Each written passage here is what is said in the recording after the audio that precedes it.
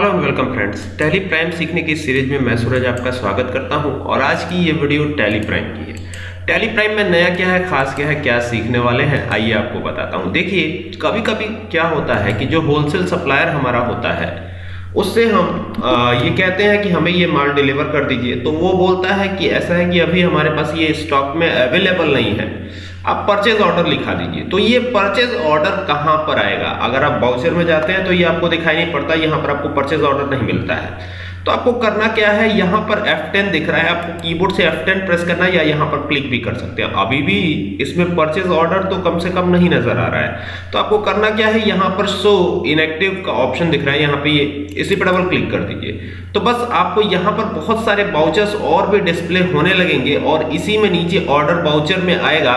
Job work in order job work out order और यहाँ पर आएगा परचेज ऑर्डर तो परचेज ऑर्डर के लिए आप कंट्रोल F9 प्रेस कर सकते हैं। यहाँ पे डबल क्लिक करेंगे, ये एक्टिवेट हो जाएगा। इसे आपको एक्टिवेट करना होता है।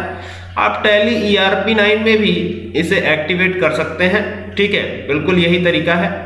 और वहाँ पर आपको इन्वेंट्री इन्फो में जाकर के इसको एक्टिवेट करना होता है। यहाँ से यस कर दीजिएगा, ये एक्टिवेट हो जाएगा। तो ये परचेज ऑर्डर परचेज ऑर्डर की पूरी डिटेल इसीलिए ये परचेज ऑर्डर यूज़ किया जाता है। आई होप की बात समझ में आ गई होगी। अगर वीडियो अच्छी लगे तो इसे शेयर करें। Thank you for watching